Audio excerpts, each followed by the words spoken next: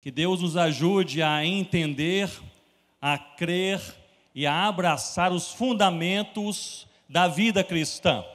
Os fundamentos da vida cristã. Que Deus trabalhe em nossa mente para que possa haver compreensão em nossos corações, para que de fato possamos crer e em nossas vidas diárias, para que possamos, entendendo e crendo, possamos abraçar os resultados da nossa fé para a glória do próprio Deus. E um dos principais fundamentos da vida cristã é justamente a fé. Em Hebreus capítulo 11, nós lemos que a fé é a certeza das coisas que se esperam e a convicção de fatos que não se veem. Você não precisa de fé para crer que a pessoa ao seu lado está ao seu lado. Você pode ouvir essa pessoa, você pode tocar essa pessoa, você vê essa pessoa. Você não precisa de fé para crer que eu estou aqui falando com você. Você pode me ouvir, você pode me ver. Nós não precisaremos de fé quando estivermos nos céus, pois nós veremos o nosso Senhor Jesus Cristo face a face.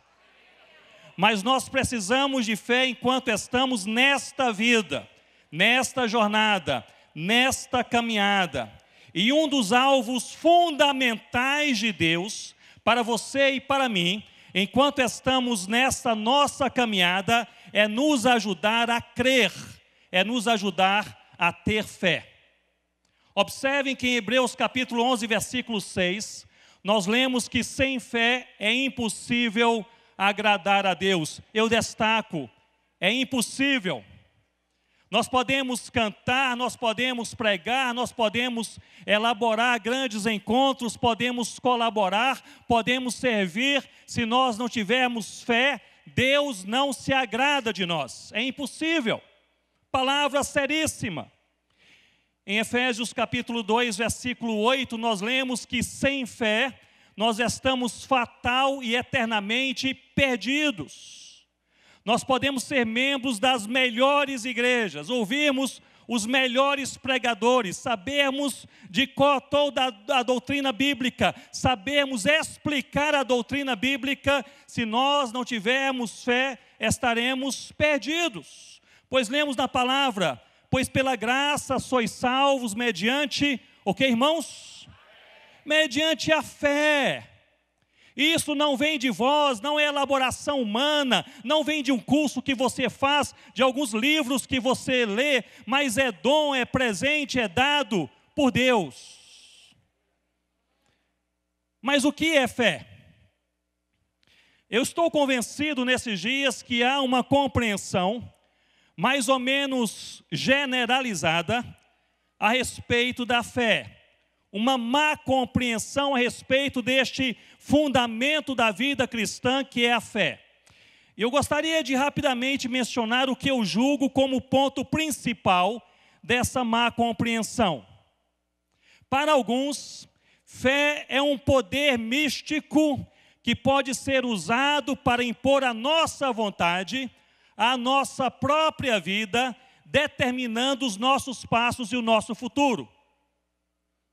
Por exemplo, se eu quero uma casa nova, ou qualquer outro desejo, a fé seria este poder místico com essa capacidade de impor a nossa vontade, a nossa vida e aos nossos dias. Parece-me, porém, que esta não é a verdade bíblica sobre a fé. Pois nós vemos na palavra de Deus que a fé não é uma habilidade espiritual que capacita você a moldar ou determinar o seu futuro. Ao contrário, a fé é a capacidade dada por Deus para você crer e você aceitar o futuro prometido por Deus para você. Em outras palavras, a fé não é uma arma de conquista dos nossos próprios sonhos eu repito, a fé não é uma arma de conquista dos nossos próprios sonhos, mas é um meio que nos leva a confiar e a descansar nos sonhos que Deus tem para nós. Meu propósito nessa noite, porém, não é falar a respeito da natureza da fé, mas de um outro assunto particular, que são os frutos da fé. Pois a fé que está enraizada na palavra de Deus, segundo a ação do Espírito Santo de Deus, esta fé, ela frutifica. E para que possamos ver alguns frutos da fé, abra comigo a sua Bíblia em Gênesis capítulo 12. Gênesis capítulo 12, leremos do versículo 1 ao versículo 9. Se você puder ficar de pé comigo uma vez mais, leremos juntos a palavra do Senhor. Gênesis capítulo, capítulo 12, versículo 1 em diante. Diz assim a palavra, a palavra de Deus. Ora, disse o Senhor a Abraão: Sai da tua terra, da tua parentela e da casa de teu pai e vai para a terra que te mostrarei. De ti farei uma grande nação e te abençoarei e te engrandecerei o nome, se tu uma bênção. Verso 3, todos juntos. Abençoarei os que te abençoarem e amaldiçoarei os que te amaldiçoarem. Em ti serão benditas todas as famílias da terra. Louvado seja Deus. Partiu, pois, Abraão como lhe ordenara o Senhor, e Ló foi com ele. Tinha Abraão 75 anos quando saiu de Arã. A jornada começa aos 75 anos. Levou Abraão consigo a Sarai, sua mulher, e a Ló, filho de seu irmão, e todos os bens que haviam adquirido e as pessoas que lhes acresceram em Arã, partiram para a terra de Canaã e lá chegaram. Atravessou Abraão a terra até Siquém, até o carvalho de Moré. Nesse tempo, os cananeus habitavam essa terra. Verso 7, todos juntos. Apareceu o Senhor a Abraão e lhe disse: Darei à tua descendência esta terra. Ali edificou Abraão um altar ao Senhor que lhe aparecera. Passando dali para o monte ao oriente de Betel, armou a sua tenda, ficando Betel ao ocidente e Ai ao oriente. Ali edificou um altar ao Senhor e invocou o nome do Senhor. Depois seguiu Abraão dali, indo sempre para o Negueb. Vocês podem se assentar, suas Bíblias, por favor, abertas comigo nesse texto. O Senhor, nosso Deus, chamou Abraão para uma jornada de fé. Este foi o chamado de Deus para Abraão, uma jornada de fé. O alvo de Deus ao chamar Abraão não era simplesmente lhe dar um nome conhecido entre as nações, mas era levá-lo a caminhar, a crer, a confiar e a descansar no eterno. E o chamado de Deus a Abraão é o chamado de Deus para a sua vida e a minha vida. Nós somos chamados não para simplesmente fazermos alguma coisa, termos alguma coisa, influenciarmos algumas pessoas, nós somos primariamente chamados por Deus para crer, e crer o suficiente para descansar, e crer o suficiente para obedecer. A nossa caminhada é uma caminhada de fé. Observem que em Romanos capítulo 4, versículo 11, Abraão é chamado de o pai da fé. Em Tiago capítulo 2, versículo 23, ele é chamado de amigo de Deus. Que lindo título! Amigo de Deus. Esse título foi dado pelo próprio Senhor, não foi dado por outra pessoa que chamou Abraão de amigo de Deus, mas foi Deus quem chamou Abraão de meu amigo. Em Isaías capítulo 41, versículo 8, falando a respeito de Israel e Jacó, diz o Senhor, ele terminou a frase com essas palavras: são descendentes de Abraão, meu amigo. A palavra hebraica, ahab, para amigo significa mais literalmente amado, é alguém tão amado que você quer contigo em sua caminhada, é alguém tão amado que você quer por perto, é alguém tão amado que você quer conversar com ele a todo momento. Deus convidou Abraão a uma jornada de fé para que, crendo, ele pudesse frutificar. É sobre isso que eu quero chamar a sua atenção nesta noite. Não apenas para a natureza da fé, mas, sobretudo, para os frutos da fé, pois a fé frutifica. E nós percebemos alguns frutos destacados na palavra de Deus nesse texto que nós lemos. Sobretudo quatro. Nós percebemos aqui a obediência, o descanso, a adoração e também a missão. Observem comigo sobre esse primeiro fruto, a obediência. No versículo 1, Gênesis 12, versículo 1, a ordem de Deus: Abraão, sai da tua terra, da tua parentela, da casa de teu pai. Agora observem a resposta de Abraão no versículo 4. No versículo 4 nós lemos: Partiu Abraão. Partiu Abraão. A simplicidade e a objetividade dessa frase no verso 4 é fascinante. Abraão ele não perguntou a Deus para onde iria, por que iria, como iria. Ele não exigiu de Deus justificativas, ele não impôs condições. Eu vou se alguma coisa acontecer. Deus disse: Abraão, sai da tua terra, da tua parentela, da casa de teu pai e vai para um local que eu ainda vou te mostrar. Partiu Abraão.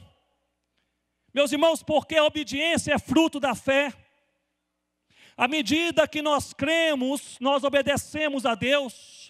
À medida que nós verdadeiramente cremos em Deus, nós somos tomados por um desejo profundo de realizar a Sua vontade. A obediência não é fruto de uma habilidade específica, a obediência não é fruto de treinamento, a obediência não é fruto de um curso específico, a obediência é fruto da fé. Se nós queremos obedecer, nós devemos orar a Deus dizendo: Senhor, aumenta a nossa fé. Em Mateus capítulo 5, nós somos ensinados pelo Senhor Jesus a fazer a oração da obediência. E a oração da obediência é esta, talvez uma das orações mais difíceis que façamos em nossas vidas. A oração é: seja feita a tua vontade. Nossas vidas, nossos planos, nossos desejos, seja feita a tua vontade as nossas expectativas pessoais. Seja feita a tua vontade no tempo do Senhor, do jeito do Senhor, para a glória do Senhor, não a minha vontade, mas a vontade do Senhor. E orar dizendo: Seja feita a tua vontade, é uma oração difícil, especialmente quando a vontade de Deus não é a nossa vontade. Nessa noite eu quero lhe convidar na palavra do Senhor, a você entendendo a você crendo e você abraçando a fé no Senhor Jesus a cada dia, a você fazer comigo esta oração: Senhor Deus, aumenta a minha fé, seja feita a tua vontade. Porque, meus irmãos, minhas irmãs, à medida que nós passamos a crer mais em Deus, na sua, na sua grandeza, na sua santidade, na sua presença, na sua intervenção, na sua pureza, no seu esplendor, na sua majestade, à medida que nós conhecemos mais a Deus e cremos verdadeiramente em Deus, nós somos cheios de um desejo profundo de realizar a vontade de Deus. Portanto, entenda comigo que a obediência é fruto da fé. E justamente eu quero lançar essa pergunta ao seu e ao meu coração nessa noite. Qual é a área da sua vida que precisa se dobrar a uma postura de obediência ao Senhor? À medida que nós cremos, nós obedecemos. Mas se a obediência é o primeiro fruto da fé destacado nesse texto lindíssimo, o segundo fruto da fé, eu creio que é o descanso. Observem comigo novamente o verso primeiro em uma particularidade final.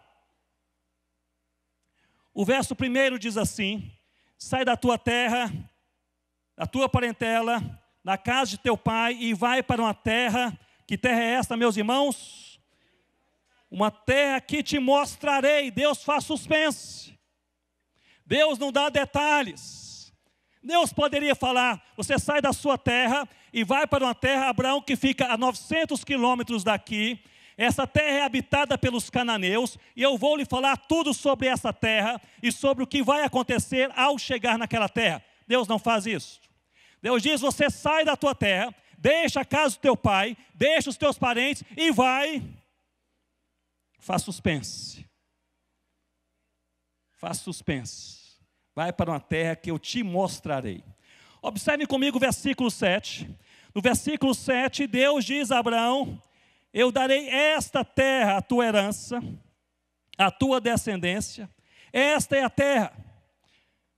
Mas observem que, apesar do versículo 1 do versículo 7, eles serem próximos nesse texto, geograficamente são bem distantes.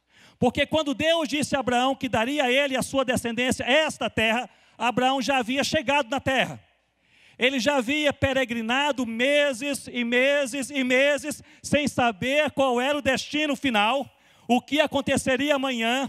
Ele havia peregrinado durante meses até chegar, quando ouviu de Deus: Esta é a terra.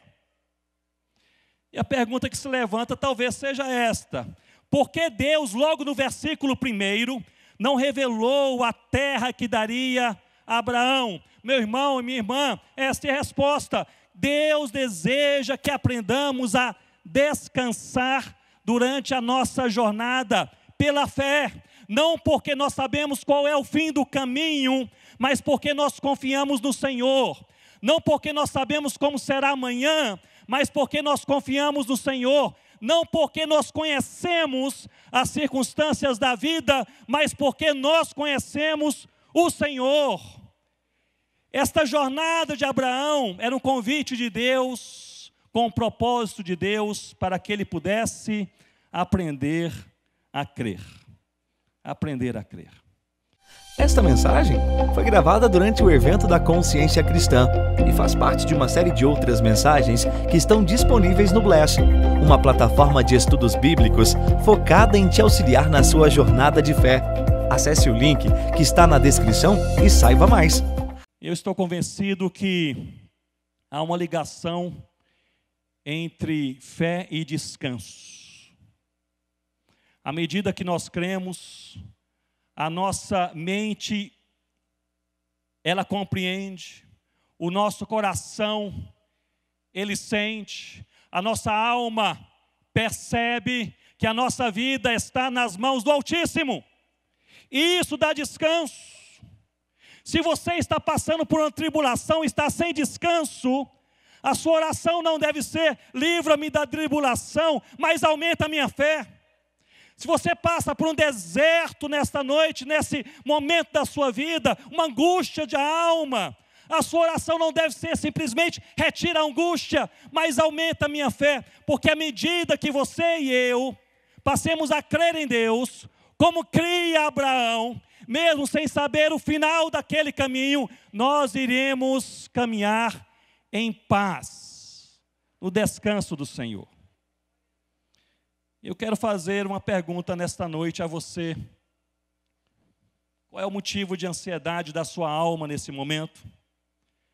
Quem sabe a sua família, relacionamentos, as finanças, a saúde, eu afirmo, meu irmão e minha irmã, se te falta descanso, peça a Deus fé, porque à medida que cremos, nós iremos descansar, sabendo que eu não consigo enxergar além do horizonte, eu não entendo o que está acontecendo ao meu redor, eu não e sei por que estou passando por essa provação. Se eu pudesse escolher, eu não passaria por essa provação, mas eu creio em Deus, que minha vida está nas mãos de Deus. Descanso a minha alma no Senhor. Alguns anos atrás, na verdade, vários anos atrás, fui convidado por algumas agências missionárias a fazer uma, uma pesquisa em uma região ainda não evangelizada no Himalaia. Não vou dar detalhes do país e das cidades por questões de segurança, uma região fechada para o evangelho. E ali passei um tempo viajando de, de vilarejo em vilarejo, cidade em cidade, por algumas montanhas, sempre com um guia nativo ali, naquela região ao meu lado, pesquisando melhores rotas para, para a entrada da ação missionária. E em certo local nós recebemos uma permissão do governo, de última hora, para nós irmos a um vilarejo que nós gostaríamos de visitar, mas nós não havíamos recebido a permissão até então. Recebemos ali e nós tínhamos apenas um dia para fazer aquela, aquela visita a esse vilarejo. Era um vilarejo que ficava a 17 quilômetros, acesso apenas por trilhas a pé, o carro não chegaria ali, no meio daquelas montanhas, aquelas trilhas. Então eu, eu contratei um guia experiente, alguém que conhecia bem a região. Na verdade, é um rapaz que, que nascera naquela região, conhecia muito bem. Ele disse: Eu sei qual é o vilarejo, eu conheço o caminho, eu te levarei até lá e trarei de volta. Senti segurança, fiz uma oração e partimos. Levei uma, uma mochila bem pequena, bem leve, é, ali um local altíssimo, ar rarefeito, é, uma região cansativa para se caminhar devido a isso. E começamos naquelas trilhas. Era um dia nublado. E as nuvens estavam entre nós, estávamos bem alto, no Himalaia. As nuvens estavam ali. Nós não conseguimos enxergar muito à nossa frente. E ali nós começamos a caminhar, trilhas perigosas, e eu comecei a cansar.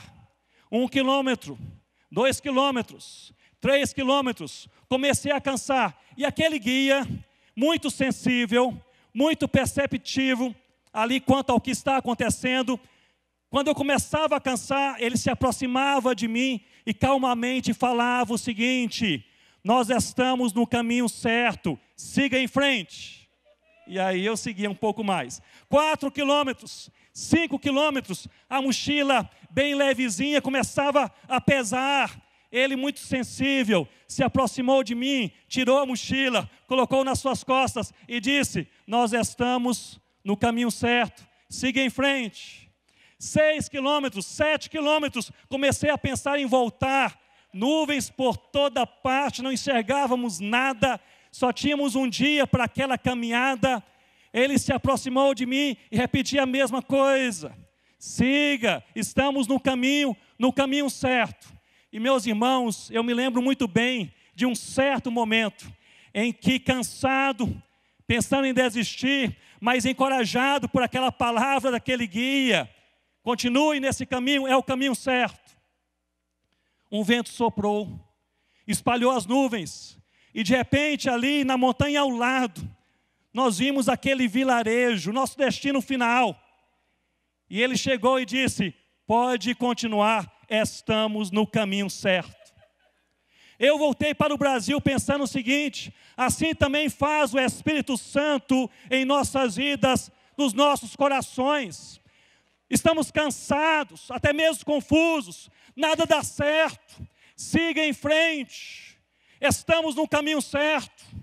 Mas, Senhor, nós somos oprimidos, perseguidos, criticados, é zombaria na faculdade, meu condomínio, porque eu creio que a palavra de Deus é a única regra de fé e prática. O Espírito Santo diz: continue nesse caminho, ele é o caminho certo. Muitas vezes, talvez a enfermidade ou a angústia, ou talvez um problema relacional profundo, que nós não conseguimos resolver durante anos. E nós pensamos, Senhor, o que está acontecendo? Nós oramos, nós cremos, nós seguimos, nós servimos, nós cultuamos. Deus nos diz: continue caminhando, você está no caminho certo. E um dia, meus irmãos, o vento vai soprar e as nuvens se abrirão e nós veremos a nova Jerusalém porque nós estamos, pela graça de Deus, nós estamos no caminho certo. À medida que nós cremos, nós descansamos. O descanso não é fruto de segurança humana, de dinheiro no banco, de uma casa própria, de um carro na porta, de filhos muito bem educados e encaminhados na vida. O descanso na vida do cristão é fruto da fé, que Deus nos aumente a fé. Mas se o primeiro fruto da fé nesse texto é a obediência, se o segundo é o descanso, eu creio que o terceiro é a adoração. Observem comigo que após meses de viagem, Abraão finalmente, com a sua família, eles chegam à terra que lhes fora prometida por Deus. Você já chegou em um local que você não conhece? Uma cidade, uma região, um país? Você nunca esteve lá? Chegou pela primeira vez, são os seus primeiros dias. O que faz você? Você procura definir a sua situação de vida, a sua segurança. É interessantíssimo observar que ao chegar naquela terra prometida a Deus, uma terra desconhecida por ele, não foi assim com Abraão. Abraão, em primeiro lugar, ele não se pôs a pesquisar a terra, ele não construiu uma grande casa para si e a sua família, ele não correu para conversar com os habitantes daquela terra, ele levantou um altar a Deus. A primeira preocupação de Abraão era esta: adoração. Antes de assegurar o seu conforto, antes de conversar com as pessoas da região, ele queria adorar a Deus. Os versículos 7 e 8, Gênesis 12, nós lemos que ele edificou um altar ao Senhor depois mudou-se para uma montanha, onde edificou um segundo altar ao Senhor. Seu desejo mais profundo era adorar a Deus, e talvez tenha sido por isso que, pela graça de Deus, ele era o amigo de Deus. Ele queria dizer: exaltado seja Deus, o único Deus. Era seu desejo mais profundo mas a adoração também é um resultado da fé, porque só há verdadeira adoração se nós conhecemos aquele a quem nós adoramos. É interessante observar que a primeira vez que a palavra adoração aparece na Bíblia, nesse formato, não é aqui nesse texto, é também com Abraão, porém um pouco mais à frente, no capítulo 22, é exatamente no versículo 5, quando Abraão vocês se lembram da história quando Deus pediu que Abraão sacrificasse a ele o seu filho Isaque? Quando Deus pediu a Abraão o impensável, a maior provação na vida de Abraão, foi ali no capítulo 22, no versículo 5, que a palavra adoração aparece nesse formato pela primeira vez. E eu leio o texto. Diz assim: E disse Abraão a seus moços: Ficai-vos aqui com o jumento, e eu e o moço, ou seja, Isaac, iremos até ali, e havendo adorado, adoração, havendo adorado, tornaremos a vós. A palavra aqui, chacar, adoração, ela é usada pela primeira vez nesse sentido, inclinar-se, prostrar-se, entrega não é curioso que, pela primeira vez, ou na primeira vez que a palavra adoração surge na Bíblia, não há música, não há corais, não há pessoas cantando e nem pastores pregando. Não há pessoas reunidas em templos, não há nada disso. A primeira vez que a palavra adoração aparece nesse formato na Bíblia, não há nenhum tipo de liturgia como nós hoje elaboramos mas há um altar e há uma entrega. Alguém entregando tudo que tem a Deus, dizendo: tudo pertence ao Senhor. Parece-me que a música cantada, o sermão pregado e o povo reunido devem ser fruto da fé de homens e mulheres que dizem: tudo pertence ao Senhor. Adoração é entrega, significa nos curvarmos perante Deus e a vontade de Deus. A vontade de Deus.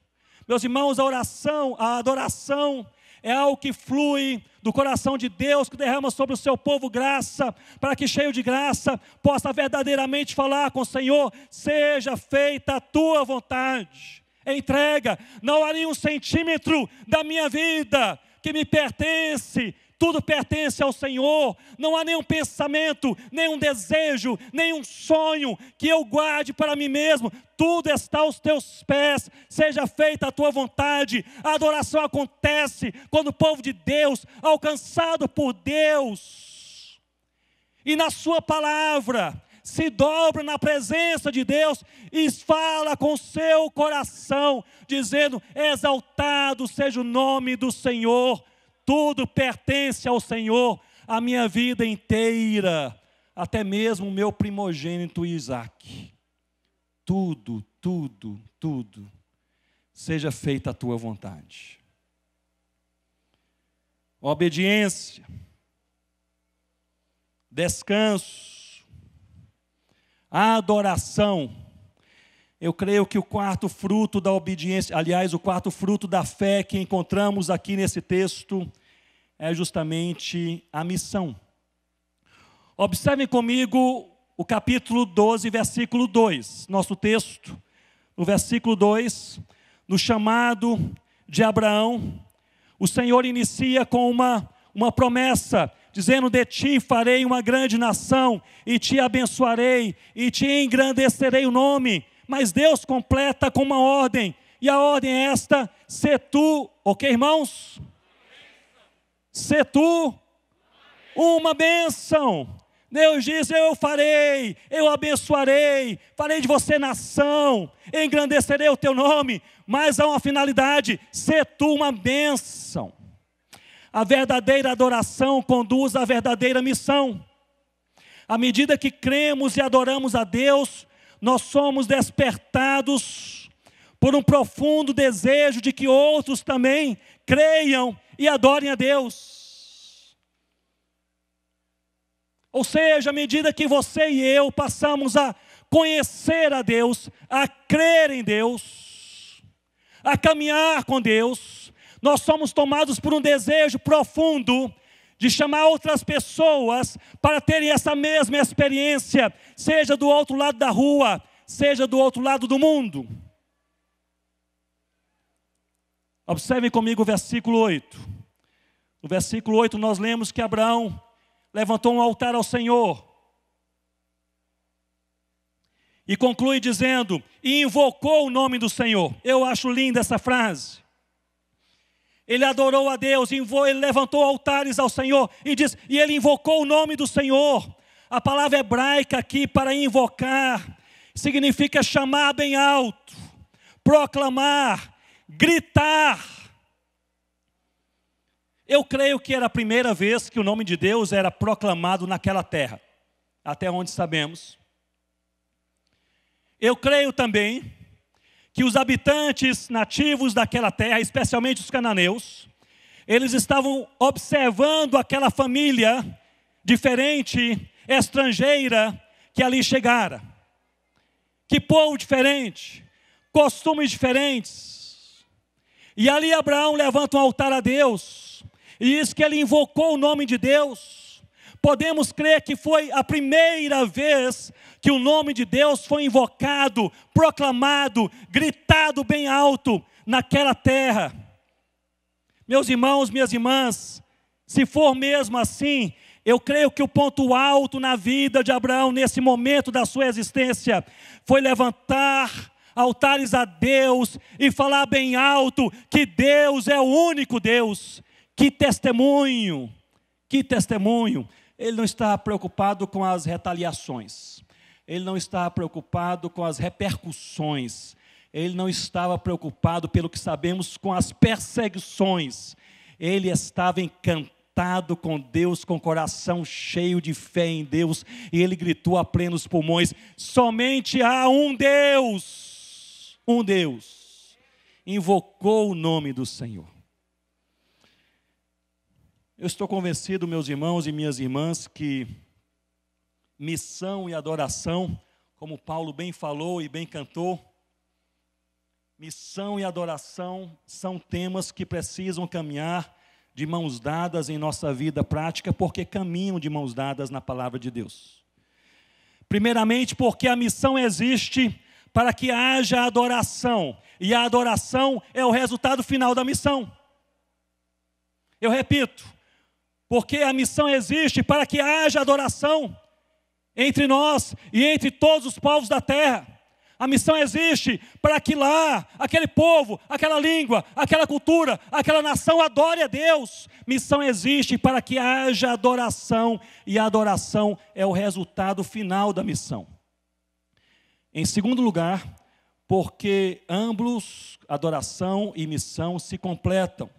Observem comigo: se eu sirvo a Deus, mas não o adoro, eu me torno legalista cheio de práticas religiosas, mas sem um verdadeiro relacionamento com o Altíssimo. Por outro lado, se eu adoro a Deus sem servi-lo, eu me torno hipócrita. Eu exalto aquele que é o único Deus, é o único caminho, é a única salvação, mas guardo apenas para mim mesmo, para minha família no máximo. Como nos alertou o Senhor Jesus, nos tornamos sal que não salga, luz que não brilha e árvore que frutifica. E talvez seja este um dos maiores perigos da vida cristã. Nos tornarmos sal que não salga, somos luz, mas sem brilho, somos árvores, mas sem frutos. A semelhança de Abraão, eu quero convidar você, como resultado da fé em Deus, a você abraçar a missão, a cumprir o propósito de Deus em sua vida. Meus irmãos, minhas irmãs, há cerca de sete mil povos na terra que quase nada conhecem do Evangelho do Senhor Jesus em nossos dias, onde há 2% ou menos de cristãos evangélicos, sete mil povos.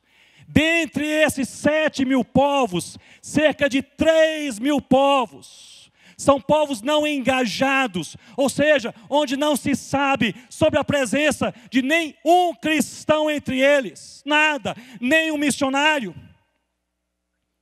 Há mais de 1.600 línguas, e nós trabalhamos entre povos com algumas dessas línguas mais de 1.600 línguas, onde não há sequer João 3,16, um só versículo da palavra de Deus traduzido para seus idiomas. Graças a Deus, nós temos a Bíblia em abundância em nossos dias, em nossas mãos. Louvado seja Deus. Quase todos aqui temos mais de uma Bíblia em casa, não é verdade? Alguns têm a Bíblia no carro, no consultório, no escritório. Louvado seja Deus. Eu quero uma Bíblia nessa versão. Eu quero com, aquele, com aqueles comentários. Outro dia lançaram a Bíblia da mulher. Eu não li porque é da mulher. A verdade é que nós nascemos com a abundância da palavra de Deus em nossas mãos e louvado seja Deus por isso. Mas há mais de 1.600 línguas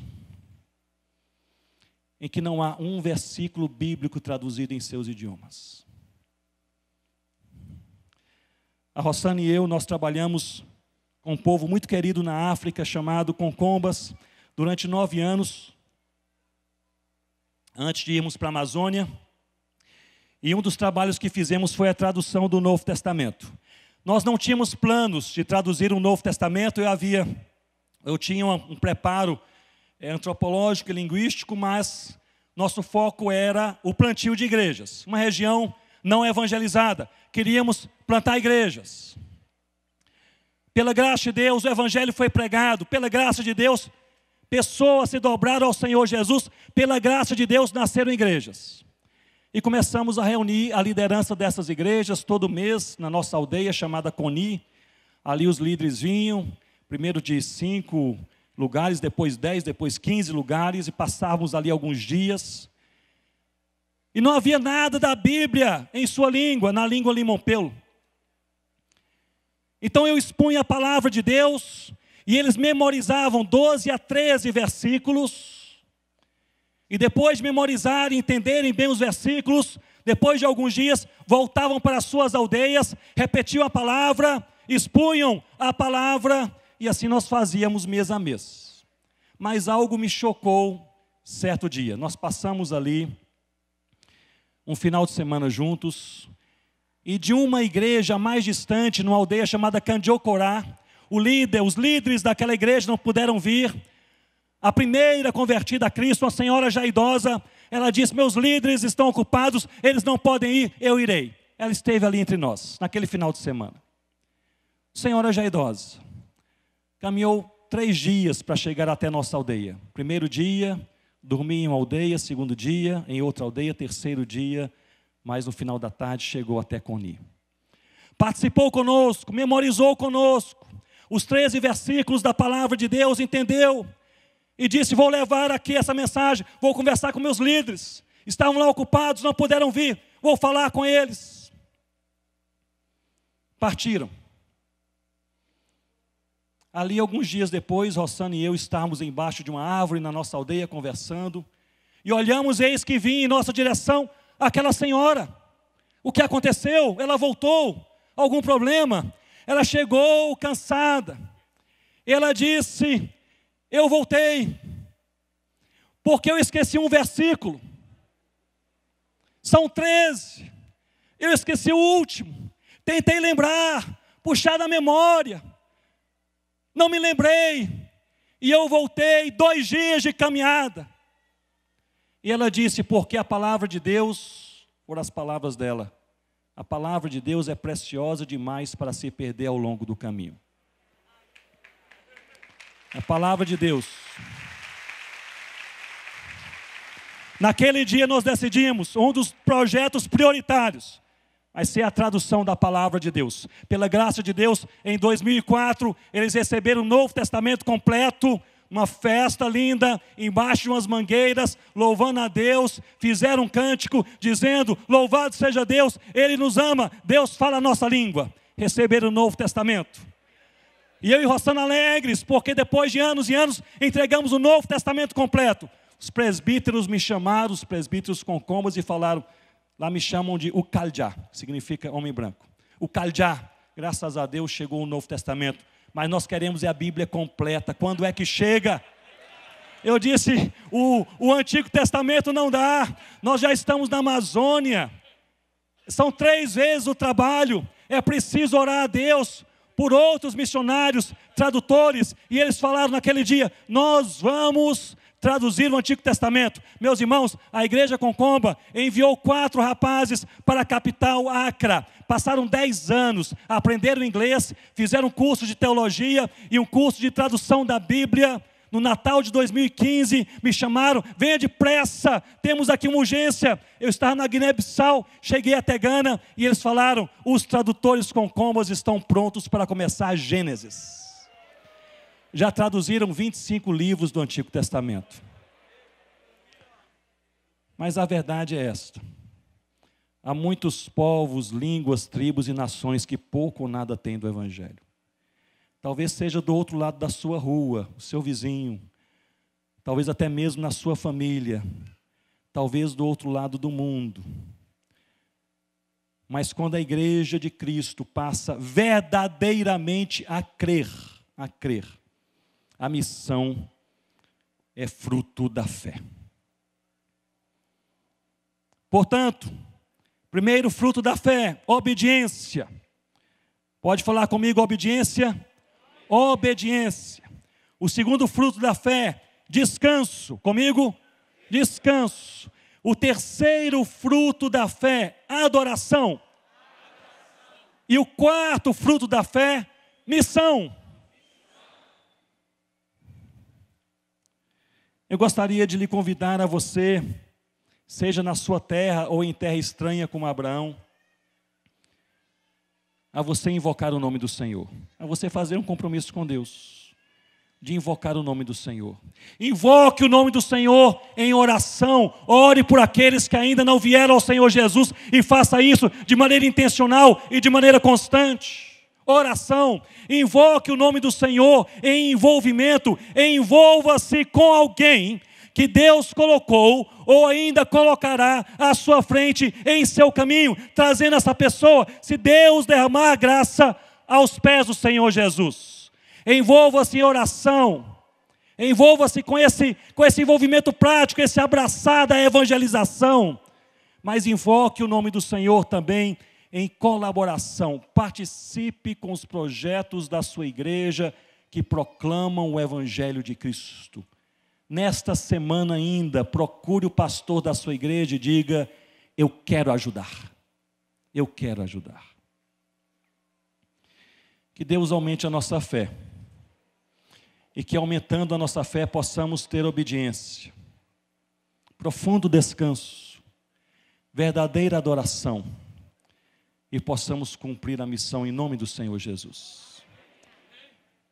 Eu gostaria de encerrar trazendo à sua mente um pouco, em poucos minutos, da vida de um homem de Deus, pouco conhecido ainda no Brasil, chamado John Welsh.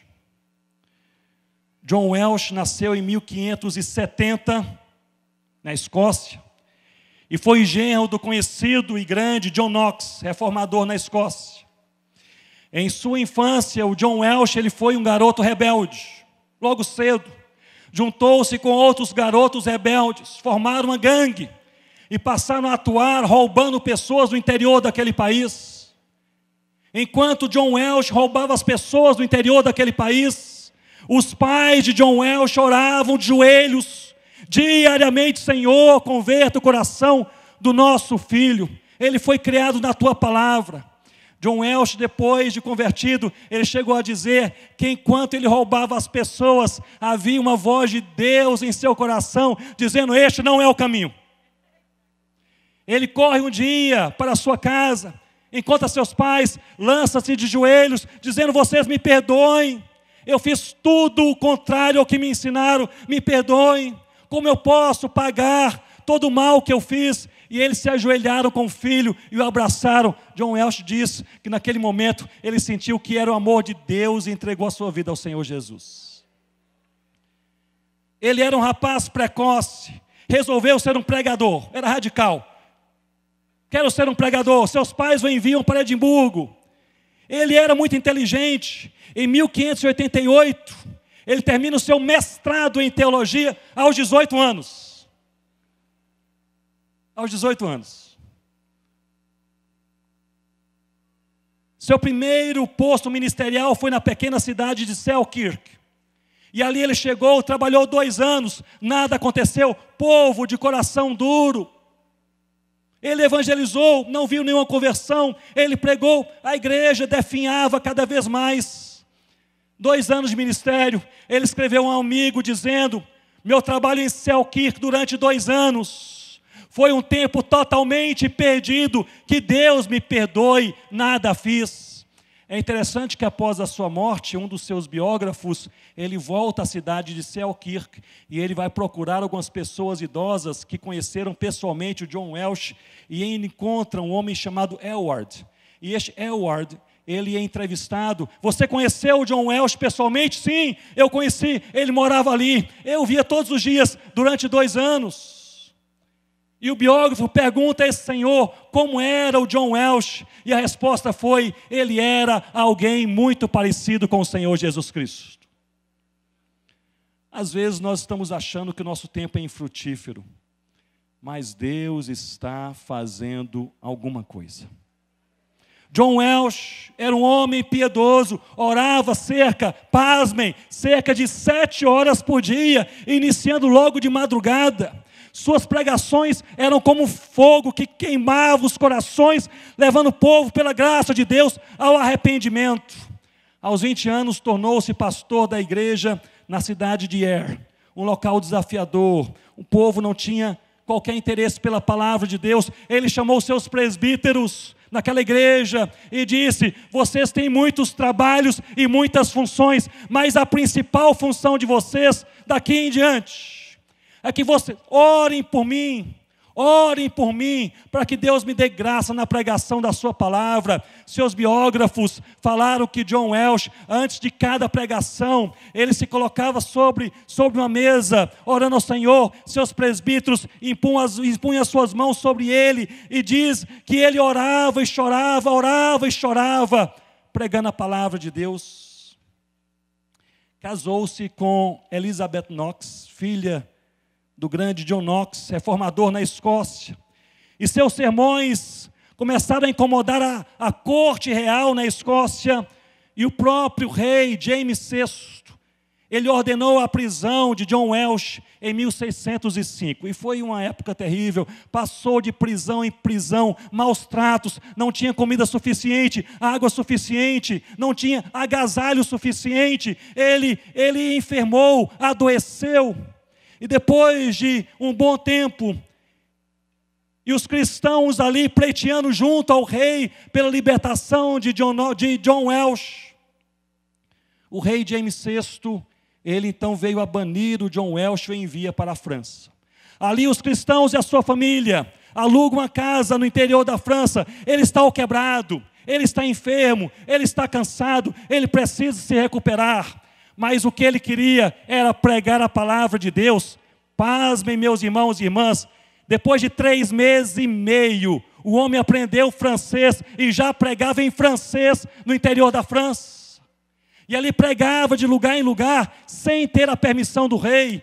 E logo, logo depois, o rei, o rei Luís XIII da França mandou chamar esse pregador que pregava sem autorização.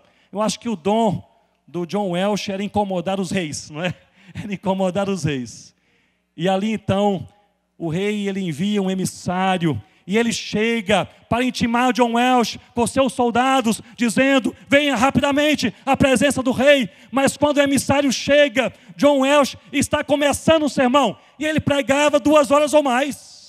E o emissário ficou tão deslumbrado com aquilo que ouvia, puxou uma cadeira, sentou-se em primeiro lugar e ficou ouvindo aquele sermão até que ele terminou. Depois do sermão terminado, ele disse: Agora me lembrei, tem uma mensagem do rei, venha rapidamente.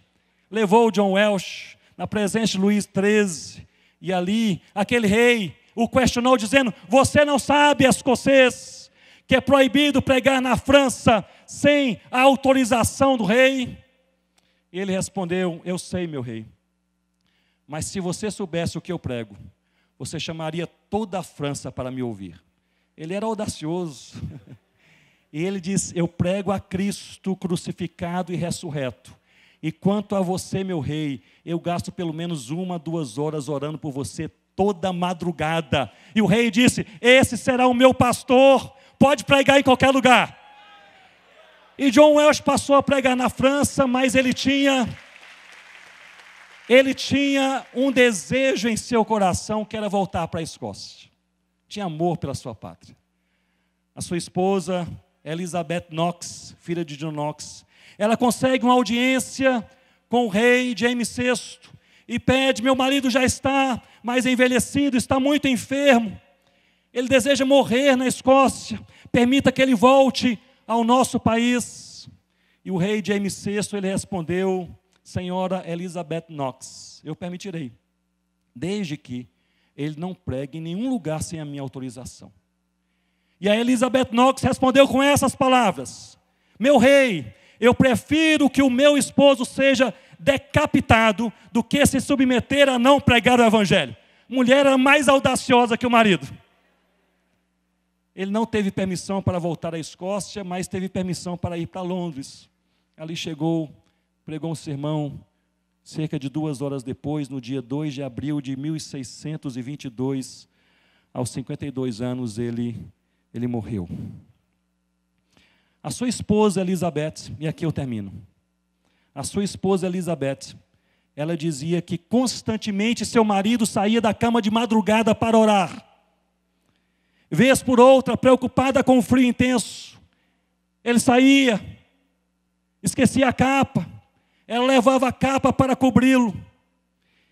E várias vezes ele, ela, encontrou, ele, ela o encontrou de joelhos, com o rosto em terra, orando a Deus, e orando as mesmas palavras do seu pai, John Knox. A oração: dá-me a Escócia, eu morro. Dá-me a Escócia, eu morro. Meus irmãos, minhas irmãs, ali no silêncio do seu quarto, sozinho ou ao lado da sua esposa. Eu creio que essa oração simboliza muito bem a necessária conciliação entre aquilo que nós cremos e a maneira como nós verdadeiramente vivemos. Tudo isso um resultado da fé. Fé para obedecer, fé para descansar, fé para adorar, fé para cumprir a missão. Vamos orar? Fique de pé comigo e ore ao Senhor. Deus, nós olhamos para o Senhor nesta noite e pedimos, simplesmente, aumenta a nossa fé. Pela tua graça, pela tua bondade, pela tua misericórdia, possamos crer mais no Senhor, crer mais na tua palavra, crer mais nos teus ensinos, crer mais na tua doutrina, possamos crer o suficiente para obedecer, dar-nos obediência, uma vida obediente, ó Deus, o suficiente para descansar, descansa o nosso coração, ó Deus, o suficiente para adorar, tudo pertence ao Senhor, ó Deus fé para cumprir a missão. Que o teu nome seja espalhado por toda a terra, em nome do Senhor Jesus. Amém, ó Deus. Esta mensagem foi gravada durante o evento da Consciência Cristã e faz parte de uma série de outras mensagens que estão disponíveis no Bless, uma plataforma de estudos bíblicos focada em te auxiliar na sua jornada de fé. Acesse o link que está na descrição e saiba mais.